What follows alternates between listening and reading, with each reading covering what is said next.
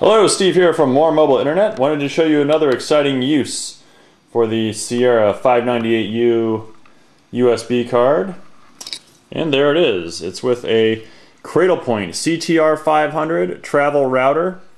Fits nicely into the box there like that. You've got a port for an Ethernet cord there. You've got your indicator lights and your signal strength meter there.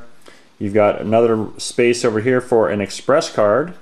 And on the back you've got a port for a external antenna for the uh, Cradlepoint as well. But anyway, what this does is it allows you to share your Sprint card with anybody in the area within about 50 feet. It'll send out a wireless signal that anyone can get onto as long as they have your password because it is security enabled if you'd like.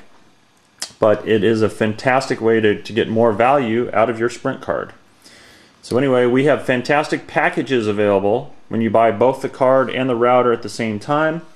Visit us at moremobileinternet.com and see what is there. Thanks for visiting.